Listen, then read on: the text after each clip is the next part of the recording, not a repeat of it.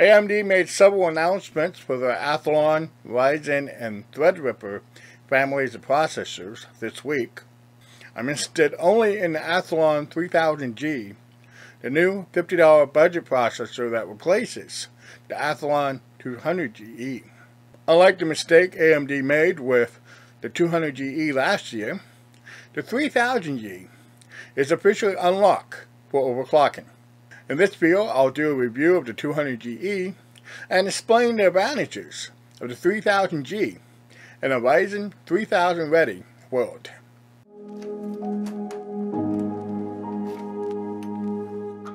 My name is CD Reimer and welcome to my channel. Please comment, like, and subscribe, and click on the notification bell to see more videos like this.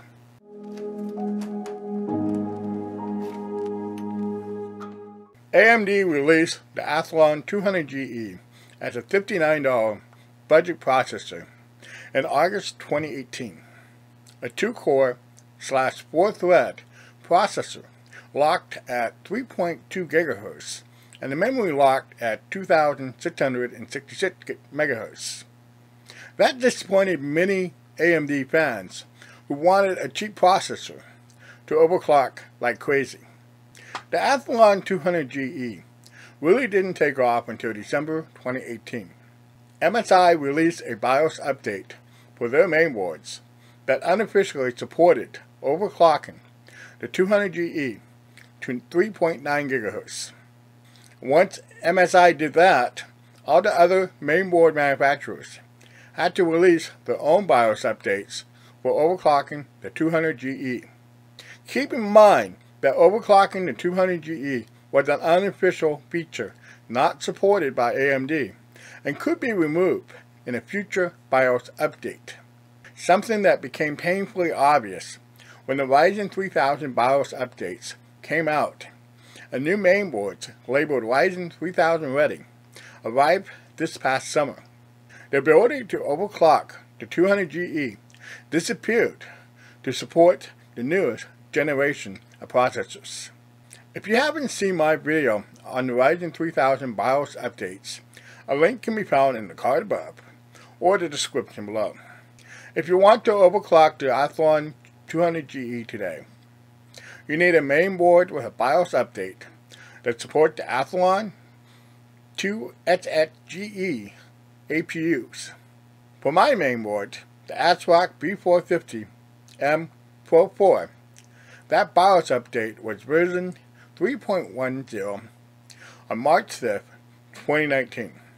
I've been running the 200GE at 3.8 GHz on auto voltage setting for the last several months without any issues. If I was willing to fiddle around with the voltage setting, I could run the 200GE at 3.9 GHz. I prefer to set it and forget it. If you made the mistake of upgrading to the latest and greatest BIOS update, or recently bought a Ryzen 3000 ready mainboard, you would need to reflash the mainboard to an earlier BIOS update to overclock the 200GE. If your mainboard has the appropriate BIOS update, newer mainboards released since earlier this year may not have the appropriate BIOS update at all. If so, you're out of luck for overclocking the 200GE.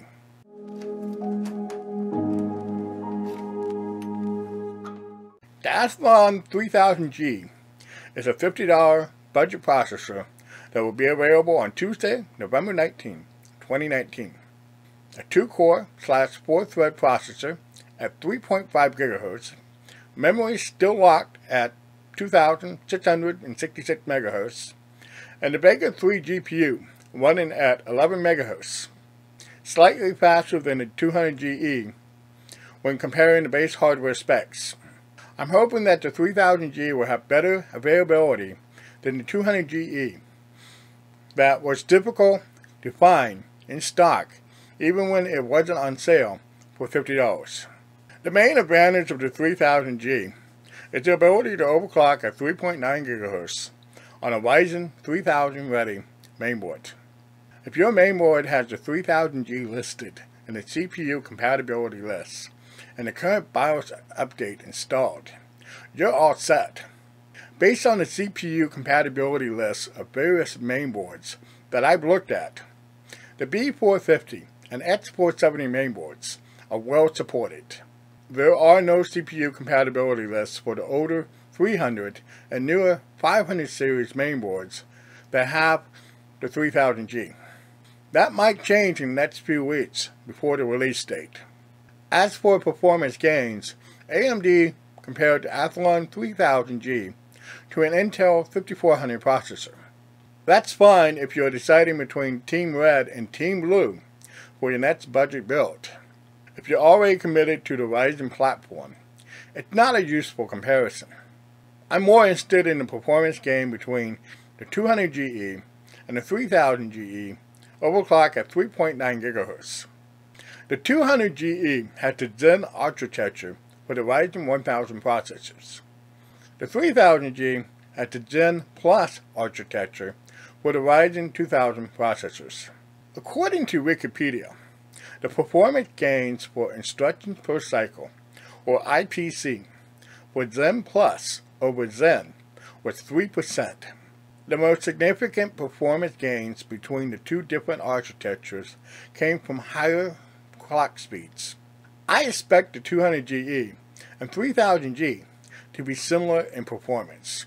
Should you get the AMD Athlon 3000G when it comes out? If you already have a 200GE and a mainboard with a BIOS update to overclock the processor, there's no need to replace it with the 3000G. If you're planning a new budget build or have a Ryzen 3000 ready mainboard, go for the 3000G. Links to third-party websites mentioned in this video can be found in a related article on my website at www.cdreimer.com. Thank you for watching.